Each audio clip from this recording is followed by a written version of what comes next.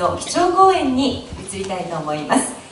元衆議院議員の西村慎吾先生にご講演を賜ります、えー、ご経歴はもう本日お越しの皆様よくご存知でいらっしゃるかと思いますので、えー、割愛させていただきます、えー、演題は日本軍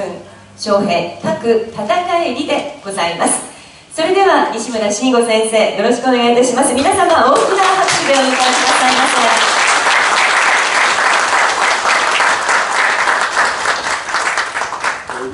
ちは。こんにちは。今、いい映像を見ました。そして、技術空挺隊がいかに戦ったかということを見たわけでありますが、私はこれから何をしゃべるか、それは、我々は人類史の中で偉大な役割を果たしつつあるということを皆さんに語らせていただきたい。人類の文明史の中でどれほど偉大なことを我が民族は成し遂げつつあるかということであります。何が普遍で敵であり何が特殊だ。今西暦2021年です。これは普遍的だと思ってる。しかしどうも違うぞ。本当の普遍的なものは我が日本が持っておるのではないか。そして大東亜戦争とはこの普遍的根源的な日本がキリスト教国という特殊な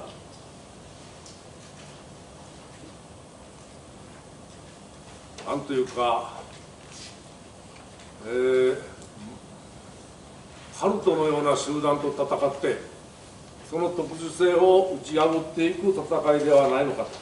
という思いがいたします。えー、家津空挺隊の突っ込んでいった8機のうち1機だけが突入に成功したでは他の7機はと突入に失敗したのかと。いやそういうふうに思ってはいけないと私は思います。開戦にあたって長野終身海軍軍令部総長は戦うも亡国である。戦わずしても亡国である。戦っての亡国は再起できるであろう。しかし戦わずして亡国するばすればそれは永遠の亡国である。こう言ったのであります。そして我々は戦ってそして亡国になったとしても後に続く人たちは再起してくれる賛起してくれるだろう。軍人である我々はただ命令のもとで戦うのみである。このように言っております。これと同じことを言った国家元首がおる。それはイギリスのチャーチルである。ダンケルクで30万のイギリス軍がドイツ軍に殲滅されようとした時ムッソリーニを仲介にしてヒットラーと和平を結ぶ話が盛り上がるこれは体制を占めた時にチャーチルは言った。この長い島の歴史が閉じるならばそれは我々全員が溢れ出る血潮に喉を詰まらせながら大地に倒れた時だと。その後にしてということであります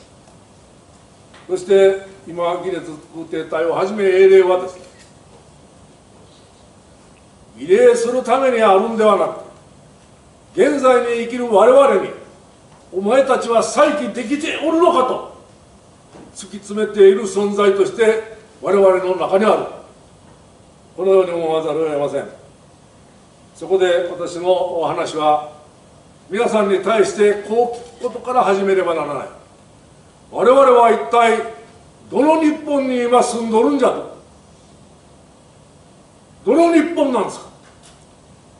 今奥山さんが言われたあの読谷村のあれが日本なんですか。日本国憲法と称する文書は誰が書いたんですか。戦に負ければこうなる。だから戦に負けた状態を固定するためにアメリカが書いた憲法を日本の憲法として生きてる日本が本当の日本なのか。これで英霊が期待したように我が民族が再起したことになるのかということを突きつけておるわけであります。三島由紀夫が自決した翌日司馬遼太郎が毎日新聞に評論を書いた。非常にさすがだと思う評論であるけれども狂った評論でありましたこう書いておったのが今印象に残っております。吉田松陰を例に挙げて彼は吉田松陰という人が一人現れるのなならまだいいしかしここに三島由紀夫の自決という事態が起こったので吉田これは民族の精神病理学の研究対象になるんだとこう書いてた。吉田松陰はでは精神病理学の対象か2年前の5月11日にあの靖国神社の前で腹を切った沼山光弘は精神病理学の対象なんだ。技術空挺団はどうなんだと。これは生きておる日本が戦後体制の日本が日本だと思っておるからこの作家はそういう無礼なことを言ったんだ。しかし日本が日本である限り必ずグレッギネス空挺隊はまた誕生するし楠木正成はまた蘇ってくる。これが日本なんだしたがってここで日本とは何かということを私3つの紙を皆さんにお渡ししておりますか。これを見ながら申し上げていきたい。一つは祖国への愛。死して生きる警部基地性報告西村慎吾と冒頭に書いた紙であり。もう一つは勇者の微笑みと書いた紙であります。ここで西洋的教養主義ではなくて土着の日本人にの地に根ざした文章を君皆さんと共に少々目を通して日本のどういう国であるかということを考えてみたい。そしてもう一つ待っておるのはスクワ密集族州長シアトル。居留地への移動を命じたワシントン総督アイザック・スティーブンス宛ての抗議文。これは皆さんとてつもないことがこの抗議文を読めば分かってくる。我々ははるか何万年かの昔にウラル・アルタイのどこかで滅ぼされたアメリカ・インディアンと共に共の共通の先祖を持っておったと私は確信しておりますイギリス人作家で C.W. ニコルというのがおりました彼ははじめ私はケルト系スコットランド人だと言っており日本に来てケルト系スコットランド系日本人だと言ったと聞きました彼の言葉で忘れない言葉は日本の縄文時代の遺跡を見て日本人がこれを作った人は今どこにおるんだろうかと言った時に C.W. ニコルは君たちの血の中におるって言ったんだ彼は滅ぼされたケルトの精神を日本に見たわけですこういう普遍的なことを皆さんに説明するために、シアトルの抗議文を、えー、持ってきたわけであります。さて、えー、ここで皆さんに、えー、祖国への愛死して死して生きる経由知性報告の文章から見ていきます、えー、教育直後皆さんご存知の通りです。えー、したがってここで拝読するよりも次の紀家のの紀元前106年から43年まで生きたローマの政治家にして文筆家の文章を読みます。あらゆる人間愛の中で最も重要で最も大切な喜びを与えてくれるのは祖国に対する愛である。父母への愛の大切さは言うまでもないくらい当然であり息子や娘たち親族兄弟そして友達友人たちへの愛も親愛の情報を恵んでくれることで人間にとって大切な愛であることは誰でも知っている。だがこれら全ての愛ですら祖国への愛に踏み込まれるのだ。祖国が必要とするならばそしてそのために君に立ってほしいと求めるならば祖国に一命を捧げることに迷うローマ市民は一人もいないであろう。このピケロのことはの人間愛の体系と教育中後の人間愛の体系は同じなんです。そして2つとも祖国のために死ぬことが祖国への愛だと言っておるわけです。なぜ紀元前100年ぐらいのピケロの言葉と明治23年10月30日に婚発された教育中この内容が同じなのか。これは両者とも人類の精神史の中の普遍的で根源的なものから発しておるからです。キケロのローマはその後どうなったか。紀元後392年に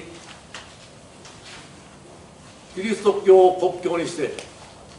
そして滅びていった。皆さん古代ローマはギリシャローマは我々と同じ多神教の神々の国だったんミケーネの王テーベを進めたアガメムノンは海神ポセイドンの子供である。子孫である。当然ゼウスの血が入っておる。ローマには100以上の神様がおった。夫婦喧嘩の神様までおったわけ。ですそしてそのローマの中でキケルのこの発言があるわけです。ではキリスト教がをローマが国教化した。テオドシウス帝が国教化してからどうなったか。直ちにローマ市にあ市内にある数十数個のギリシャローマの文献を集める図書館が破壊された。そして広大な今のヨーロッパの範囲にある全ての神々の神殿。そしてギリシャローマの文献が破壊されていく翌年にはオリンピアードの廃止が決まった。歴史家はこの時をもってギリシャローマ文明の終焉だという。そして1500年間ヨーロッパはキリスト教文明のもとであったわけであります。そしてそのキリスト教文明諸国と戦ったのが神々の国日本である。つまり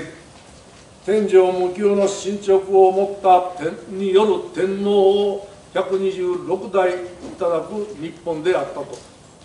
どちらが普遍的でどちらが根源的でどちらが特殊なんだと。私は我々が戦ったアメリカをはじめとするキリスト教諸国が特殊であったと断言せざるを得ない。皆さんキリスト教とは何か？私は普通の日本人よりもキリスト教をよく知っておる。子供の時から体に合わない服を着てるようなもんだ。なんで処女が子供を産むんじゃ？これを言えば火あぶりになる宗教ですよ。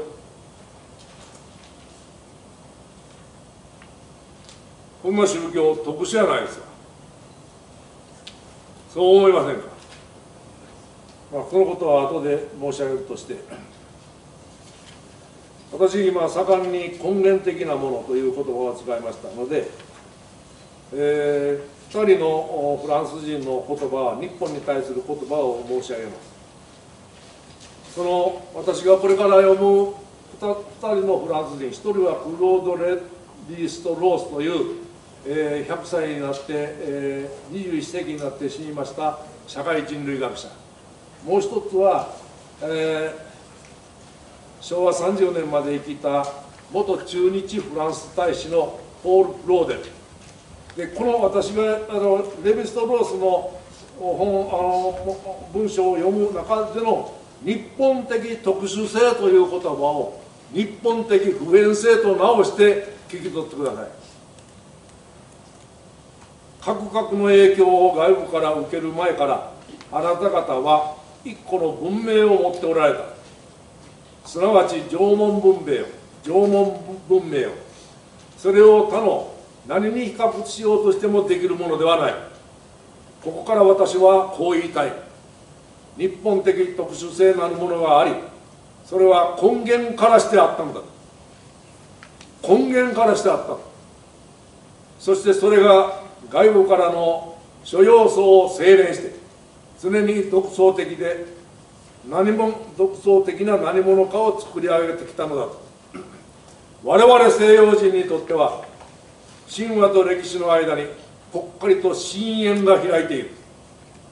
しかし日本の最大の魅力の一つは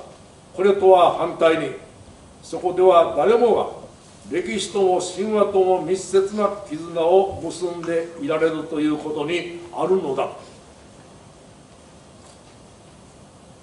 ポール・クローデルはこう言っております。日本においては超自然は自然と何ら異なるものではない。日本の天皇は魂のごとく現存している。根源の時と歴史の浮い天辺を貫いて国民に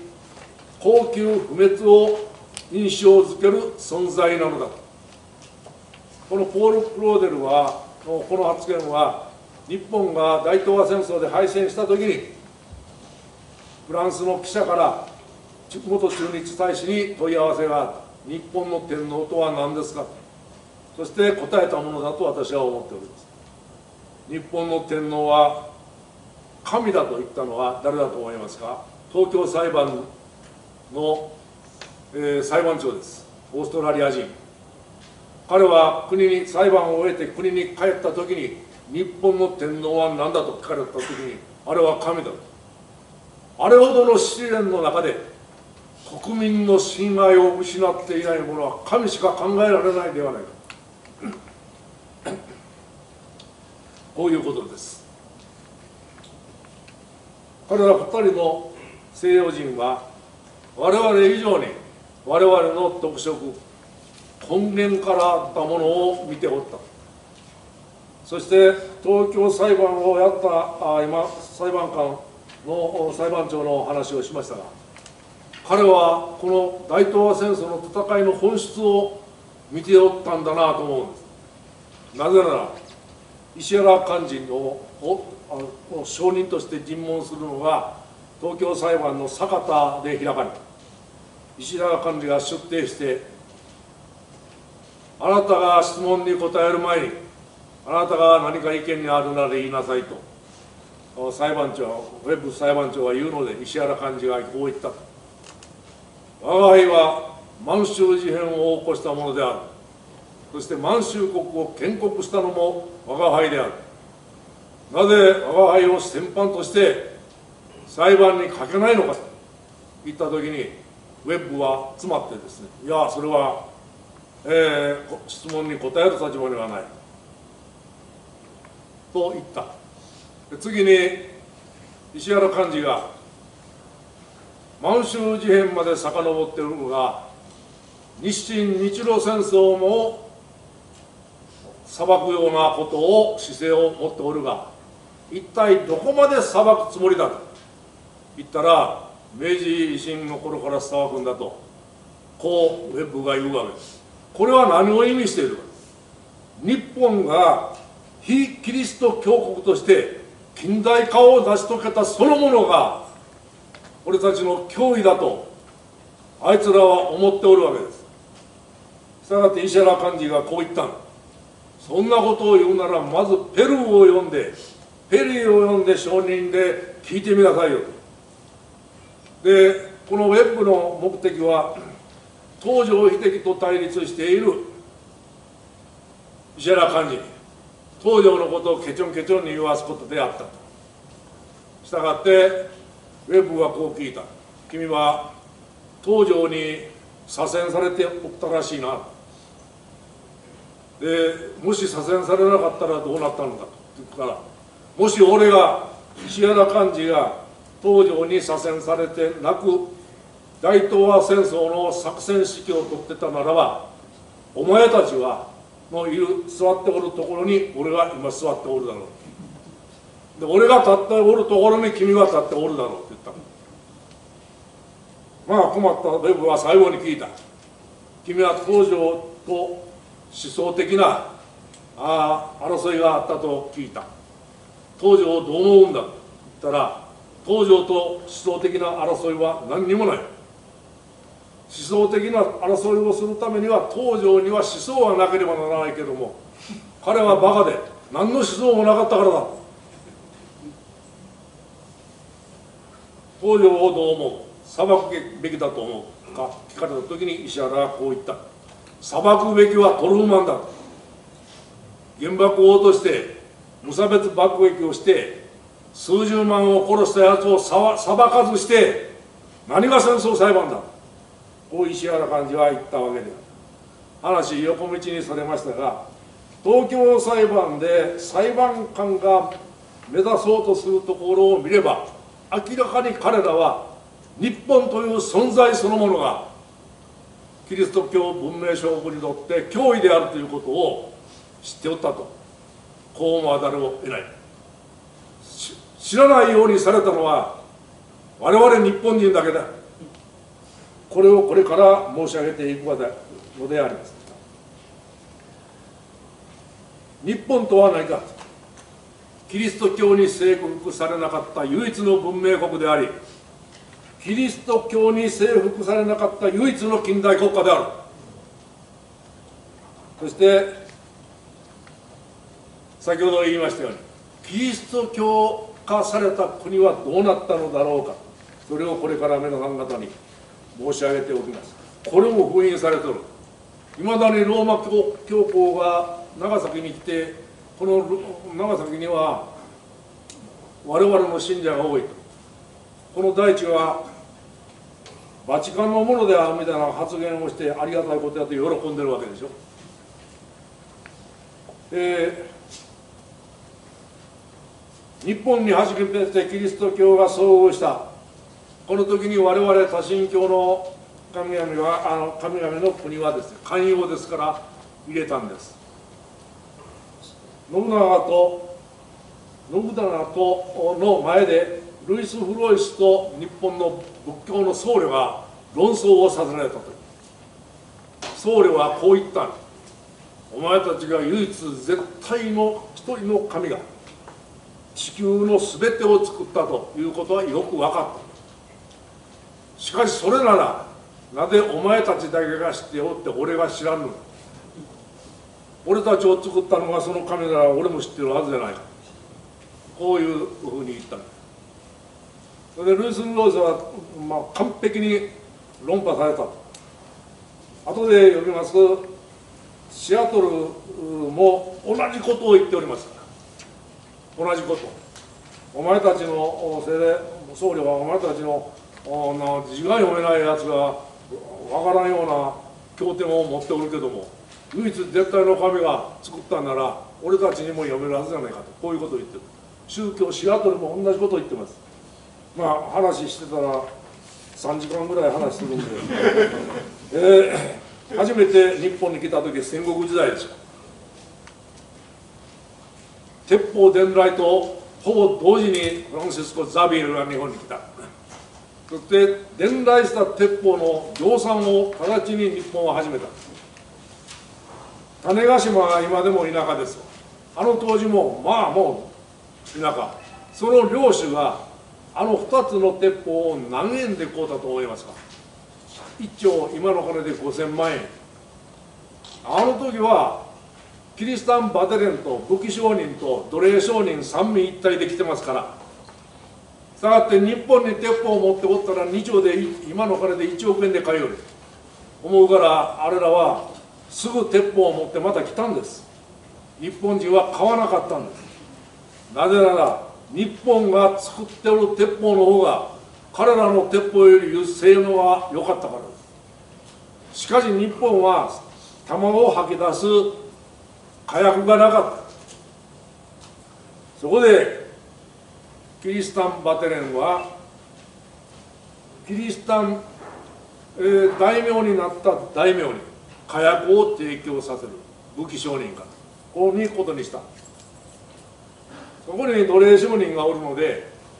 日本の少女50人と一たるの火薬を交換する。キリシタン大名は領地からの50名の少女たちを集めて奴隷商人に引き渡した。で奴隷商人は彼らキリスト教徒は異教徒を人間だと思ってませんから牛猫のように裸にして戦争に掘り込んでインドヨーロッパに運んだ。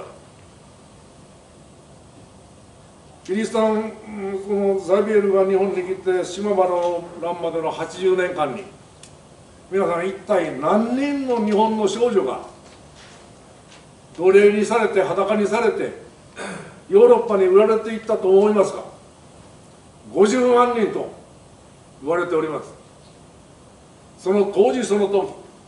えー、天正少年施設4人の14歳ぐらいの少年たちがローマに行ってバチカンの法王と面会しているその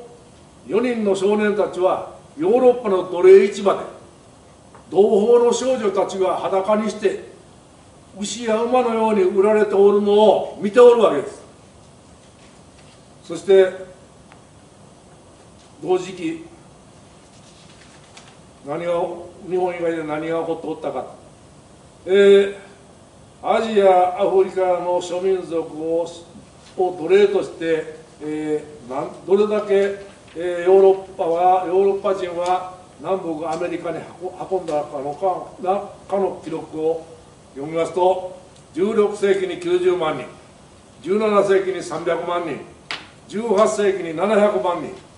19世紀になっても400万人の奴隷をです南北アメリカ大陸に運んでる日本は50万人で済んだんこれをキリスト教に征服されたら日本人がどれだけ奴隷として運ばれたか。想像を絶する惨害がある。コロンブスがアメリカ大陸に到達した1492年南米大陸のインディアンの数は数は最大推計1億1000万人。最小最小推計4000万人おった。その100年後のインカ帝国が滅亡した時それほど多くいた1億近くいたインディオは1000万年に激減しておった。西インド諸島では原住民の皆殺し政策が取られた。したがって西インド諸島は黒人ばっかりでしょう。北米大陸にはインディアンは500万人いた。1990年には35万人に1890年には35万人に激減していた。セオドア・ルーズベルト。日露戦争の仲介をしたルーズベルト。大統領になったルーズベルトは唯一の良いインディアンは死んだインディアンである。とまでは考えませんが10人のうち9人まではそうであると信じます。オーストラリアはアボリジニを人間として認めたのは何年だと思いますか？1976年の憲法改正でアボリジニを人口統計に初めて入れたんだそれまで人間と思っておらいなかった。キリスト教諸国というのはこういうもんだ戦った相手はこういうやつだったんだこのことを申し上げておいてですね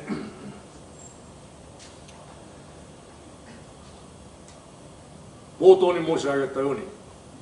我ら日本民族は非キリスト教国として初めてこの近代文明を生んだ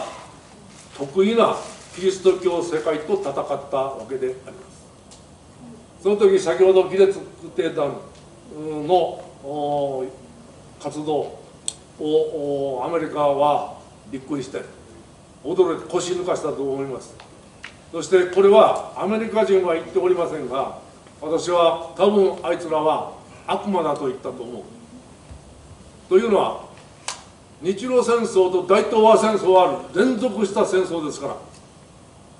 切断された戦争じゃない。日露戦争の時にですね猿って言ってたんですよ。あの猿ロシア語でマカーキその猿がですね、えー、黒木第一軍があ攻略港を難なく渡って進撃してくることを見た時に何と言った？かロシア兵は。ロシアの将軍は黒木には悪霊がついておると言ったんですそして乃木第三軍が旅順を落とした時に彼らは乃木は悪魔だ第三軍の兵士は悪霊だと言ったのでですね次の法天の開戦の時に第三軍が法天開戦に間に合う。その時に兵士たちはロシア側でこう言ったんです我こそは旅順を落とした第三軍の兵士将兵なり。我こそは野木丸助の将兵なりと言って突っ込んでいった。だからこの第三軍がですね、えー、日本軍最後から30万のロシア軍の包囲包囲を始めた時にロシア軍はあもうクロパト菌の神経が破裂してですね退却を始めるわけです。そして愚列儀列空挺団に突っ込まれたアメリカ軍も特攻大機に突っ込まれた海軍もそしてペルリルで戦ったアメリカ兵士も日日露戦争におけるロシア軍のように我々日本兵を見たと思います。彼らは長野終戦連合えーえーえー、軍令部総長が先ほど言ったように日本民族が我々が戦争で負けたとしても再起するために鬼になったんだと。そして今も鬼になったまま我々が何もしているんだと見ておられる存在だというふうに申し上げたのはこのことであります。さあ元に戻りまして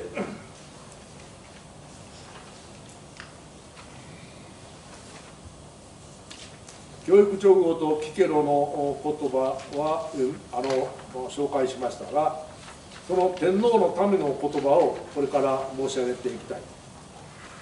えー、天皇のための言葉これはもう本当に素朴な普遍的で根源的な魂から出てくる言葉です。冒頭は音立花姫の御事。実差し相模の斧に燃える日のほなかに立ちて問いし君はこれはご承知の通りです。これに対して現在の上皇陛下は上皇后陛下はなんと皇太后陛下は何と言われておったか若い時にこの歌を読んだ時に生贄というむごい運命を進んで自ら受け入れながらおそらくはこれまでの人生で最も感謝に満ちた瞬間の思い出を歌っていることに感動と感銘という以上に強い衝撃を受けました。はっきりした言葉にならないまでも愛と犠牲という2つのものが私の中で最も近いものとしてむしろ一つのものとして感じられた不思議な経験であったと思います。このように語られておる。でこの愛と犠牲という2つのものが一体であるというのが日本の英霊でありました。次は男のやかもちの有名な歌がある聴歌であります。大友の疼通かもやのそのまおば大米主と追いもちて使いしつかさ海ゆかば水くかばね。山ゆかば草むすかばね。大君のへにこのしなめ。帰り見わせじとことだて。増田尾の清きその名をいにしえよ今のおつつに流される親の子供子供ぞ。大友と佐伯の氏はというふうな続いている超過であります。次数字を打ってありますのは、えーえー、万葉集のから先森の歌。で先森の妻の歌でありまして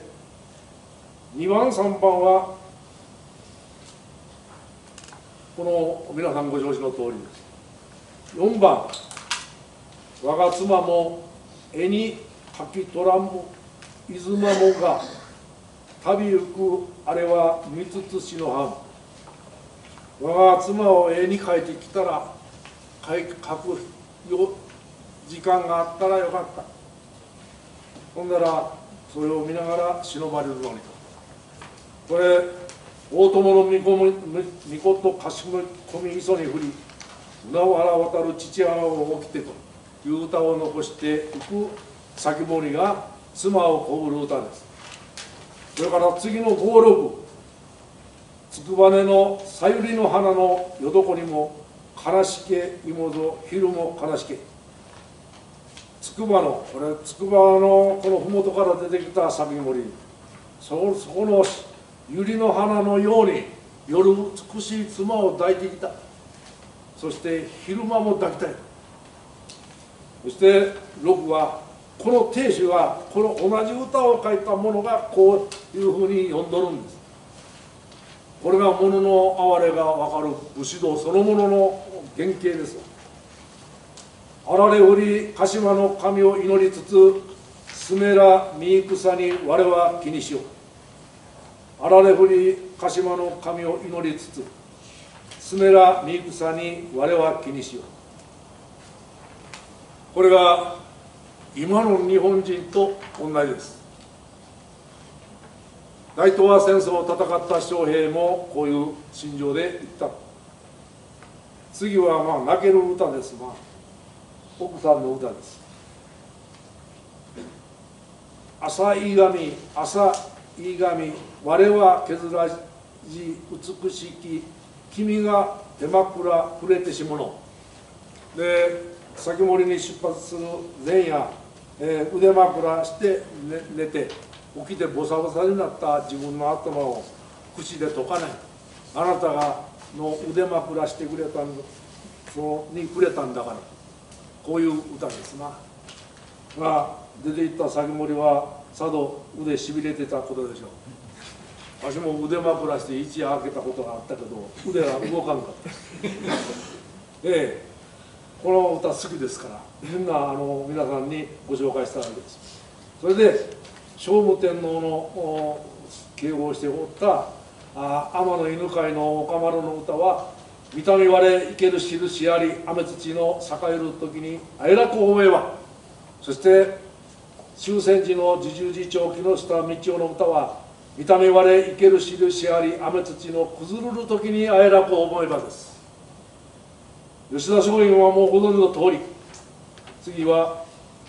西郷隆盛の沖永良部に流されておった時の監視落葉の地皆鬼となり南陽の不習一人生を盗む。精神難蔵疑わん天の付与する者を願わくは魂魄をとどめて工場を守らん。願わくは魂魄をとどめて工場を守らん。同じ文章が皆さんどこにあると思いますか？近くの田安門から日本武道館の方に入り左手に武道館の正面を見ながらまっすぐ見ればですねそこにレストランがある。そしてそのレストランの眺望の排気ガスが吹き出るところにこの絵歩兵第一連隊の跡地があってそこにある火の中に我ら選ばれてこの衛兵に選ばれし者身は魂魄になるとも工場を守らんと書いてあります。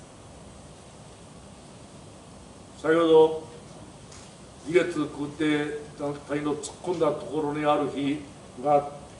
のののかれたというふうに奥本さんがおっしゃっておられましたが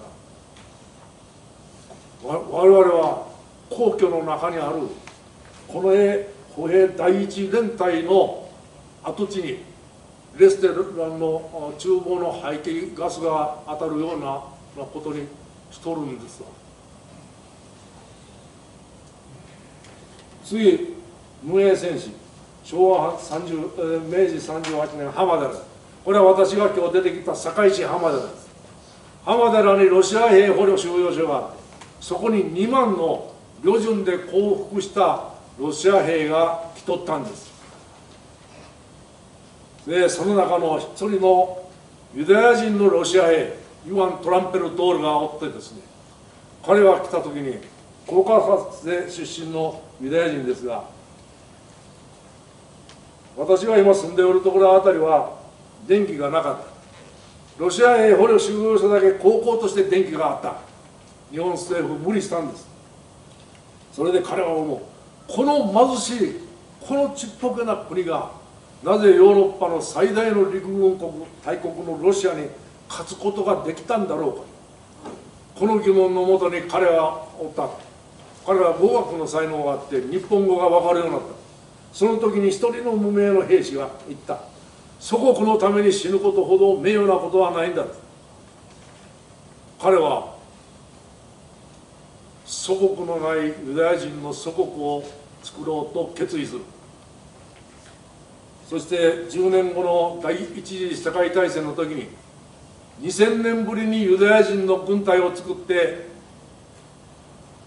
ダーダネルス作戦にイギリス軍の霊下で参加していくわけです。そしてものすごいあの拍手を受けるわけである。その時にダーダネルス作戦の総大将はイワン・ハミルトンイギリス軍のイワン・ハミルトン大将です。そのイワン・ハミルトン大将は10年前に感染武官として旅順要塞攻防戦を見てた人であります。そのイワン・ハミルトンが日本軍の戦いを見て何と言ったかというのはまた後に紹介いたしますがこれ因縁と言わざるを得ない。そして戦いが終わってその5年後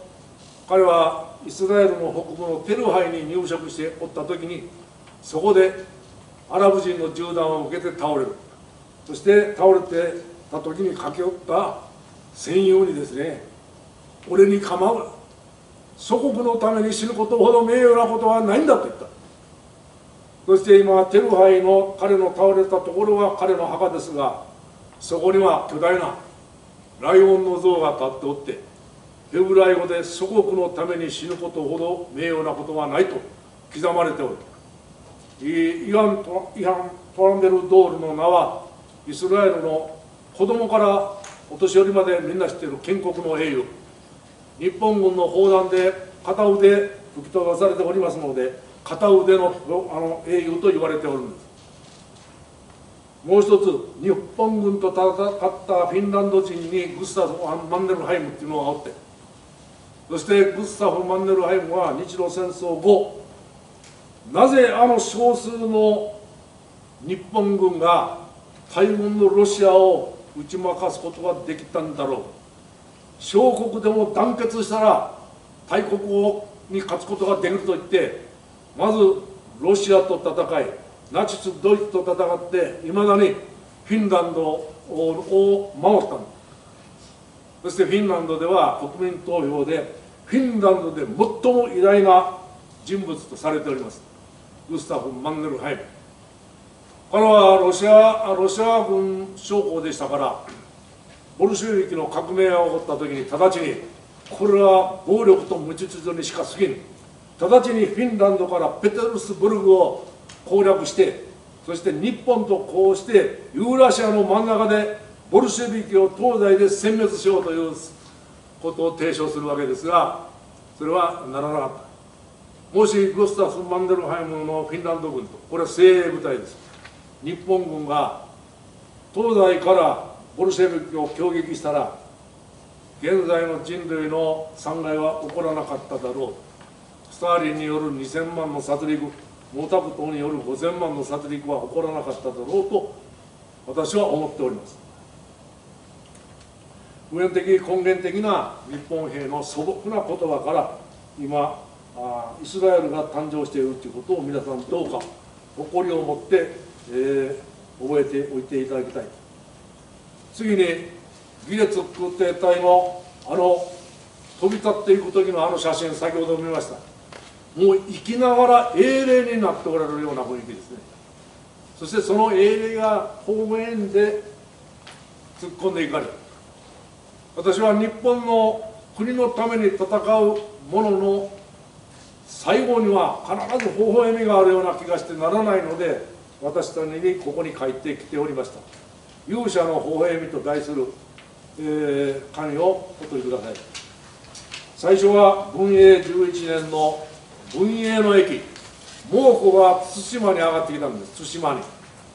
1000名から2000名。馬もおるからものすごい集団として上がっておった。この時に対馬の伊豆原におったあ対馬守護代宗助国は84機しかいなかった。彼らは躊躇なくですね菰田浜に、えー、上がってきた菰田浜に出撃していって矢を追いかけて向こうの召喚クラスを殺しながら矢が尽きた後微笑みながら突撃して玉砕します。今も宗助国の首塚と宗助国の胴塚が2キロぐらい離れてありますから体バラバラになって、えー、玉砕するわけです。その日本兵の戦い方を見て敵の総大将金とキンドゥヒンドゥともいうはこう言ったと記録されております。自分はいろいろな国の敵と戦ってきたがこのような恐ろしい敵と戦ったのは初めてだ。それからあ60年ぐらい経たら、えー、建武3年の港川で楠木正成が亡くなるわけでありますが太平記より正成上座に座りいつつ射程の正末に向かってそもそも最後の一年によって善悪の章を引くと言えり苦害の間に何かご変の願いがあると問い問いければ正末からからと打ち割ろ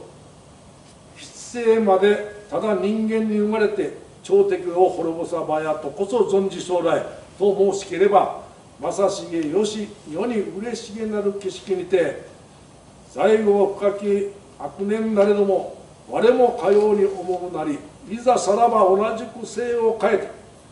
この本会を達成と誓って兄弟ともに差し違えて同じ枕に伏せにけるであります。これが七世報告であります。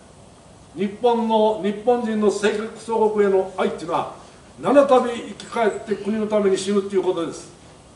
よく死ぬことがよく生きることだということなんですこんなこと中国人なら全く発想しませんよ。次第三軍司令官野木丸助報告、えー、明治39年1月14日宮中にて。この日野木さんは帰国命令を従って満州から帰って新橋駅に降り立つわけでありで私のじいさんは明治10年代の生まれです。私の母親は明治42年の生まれです。じいさんがその時の野木さんの様子を自分の母親に見てきたように語った。母親が私に見てきたように語った。野木さんはこらにしてまるで泣いて歩いてるようだったと。そしてその野木丸助閣下は、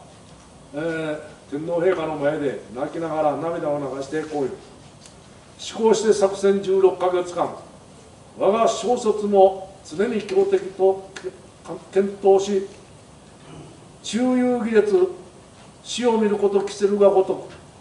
たまに倒れ剣に倒れる者皆陛下の万歳を看護して金然として名目したるは真これを服装せざらんと欲するもまたわずつまり野木マレスが閣下は武士というものは天皇陛下のために死ぬということは金然として死ぬもんだ。我が小卒は金然として陛下のためを思って亡くなった。こう報告したわけで。これは我が武士道の伝統を野木さんは踏まえた上での自分の小卒が武士道の伝統にのっとって亡くなったという報告だと私は信じて疑わない。次は例に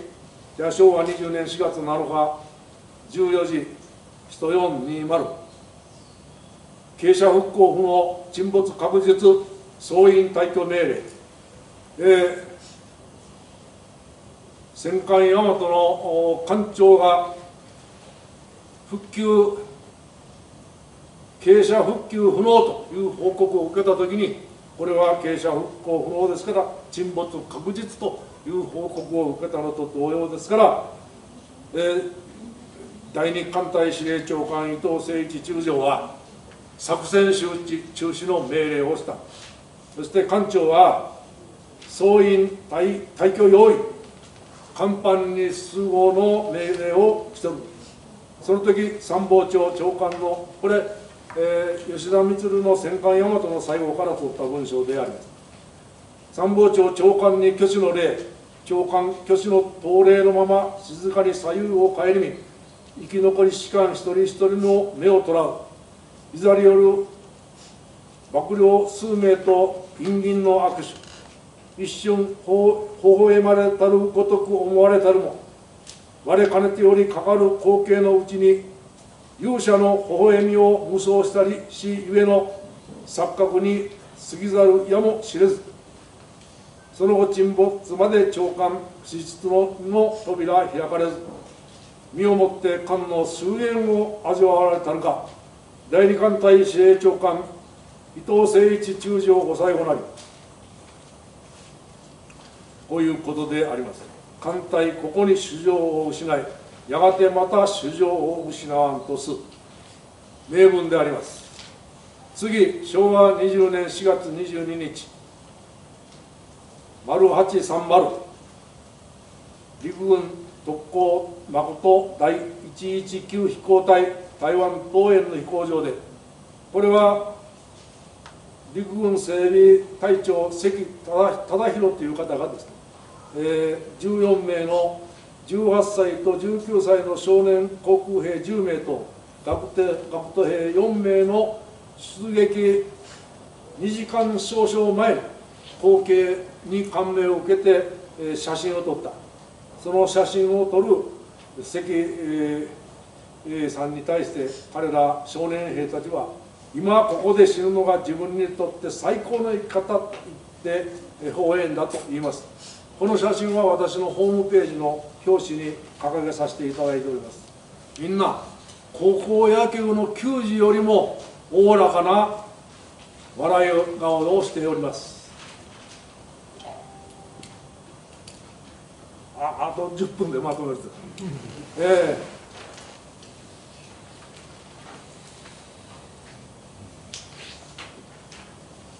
え。この子供たちが言った今死ぬことがよく生きることだということを覚えておいてください。孔子は弟子に人は何か死ぬとは何かと聞かれていまだ生を知らず伊豆君と死を知らんと言った。生きて見てみなかったら分からへんねん。こんなもん知らんと言った。その逆を我が少年は言っておる。ここで死ぬのが自分にとって最高の生き方と言っておる。孫子の兵法を立てまつって経営に生かしたとか言うて本書いたおっさんもおりますけど孫子の兵法は敵を騙すこと兵とは機動に武力とは機動に敵を敵を騙すこと日本人はこれを何と言ったか。敵を騙すっていうことは結局死が怖いんだろうとお前。死ぬのは怖いんじゃろう我々の武士道はそんなんじゃない。死ぬことによって生きることなんだそして当選教っていうのは書いて孫子の兵法だけが兵法とは思ったらダメだと。当選挙を書いて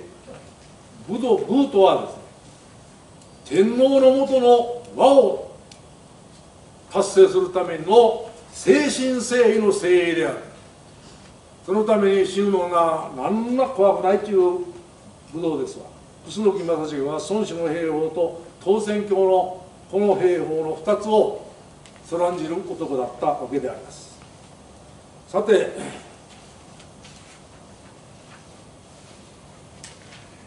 あと10分で、えー、まとめますのでね。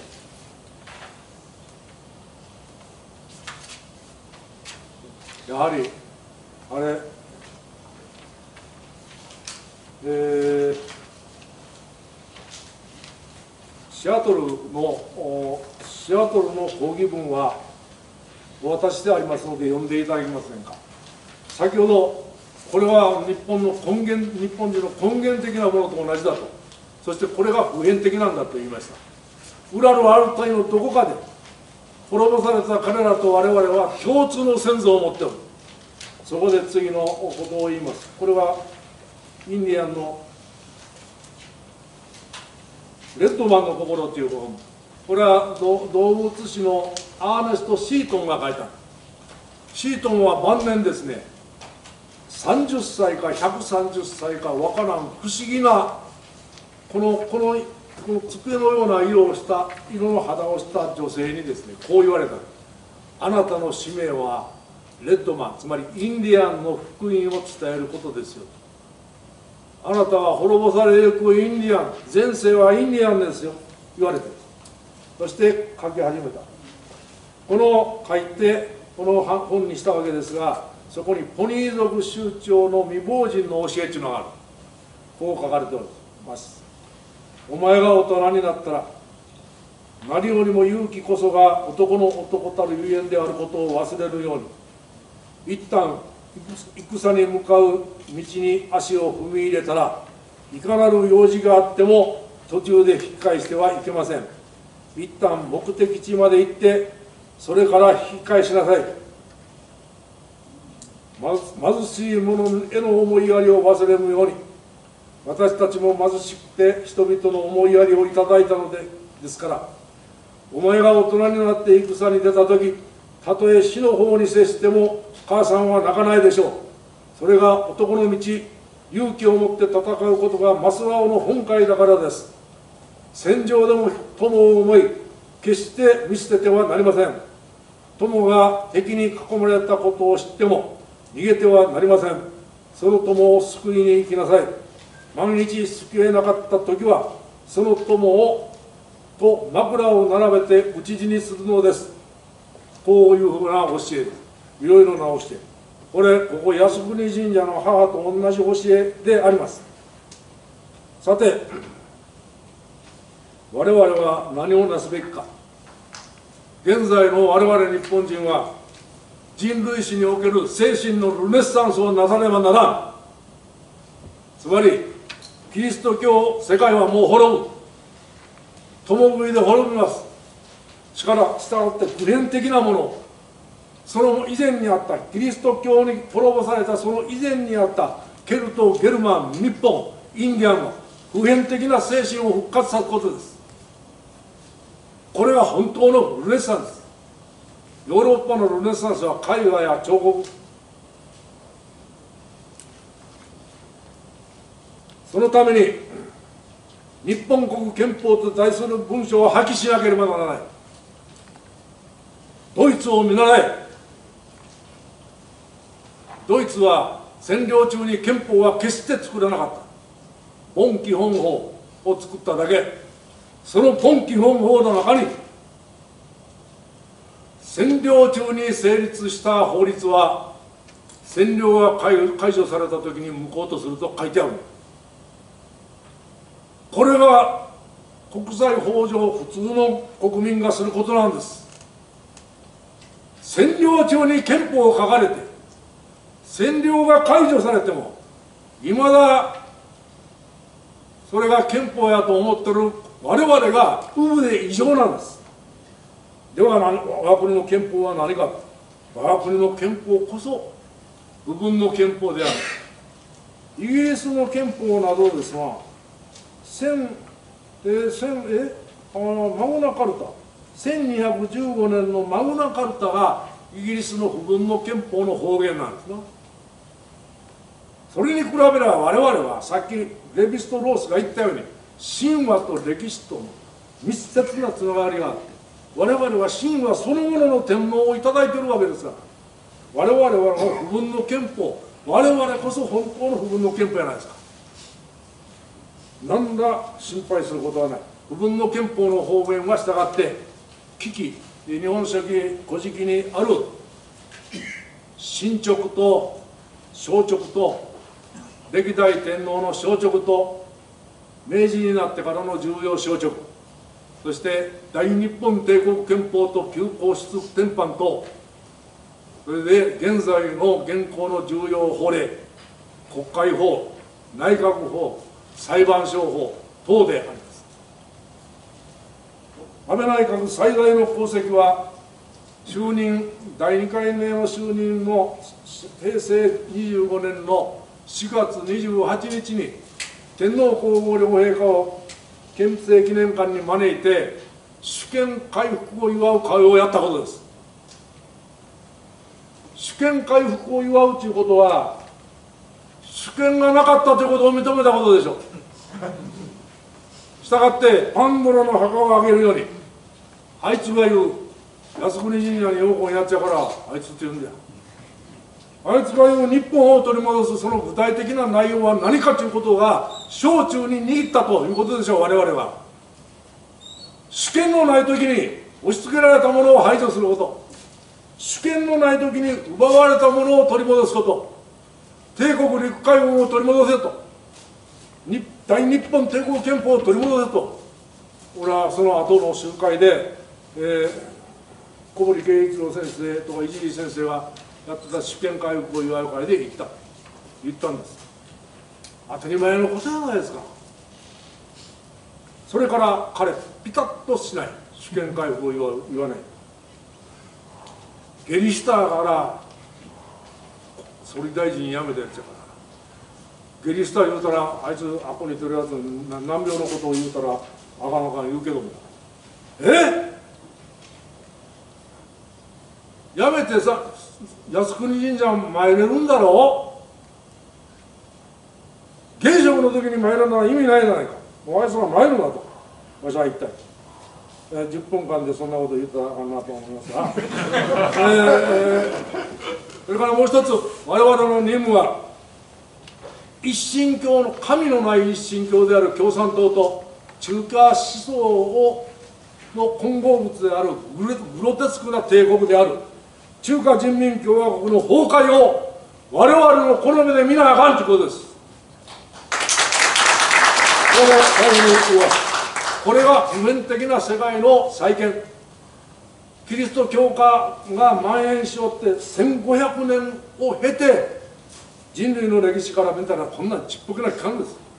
異様になっていた我々の精神構造普遍的で根源的なものに戻すんだということ。それは我々の現在の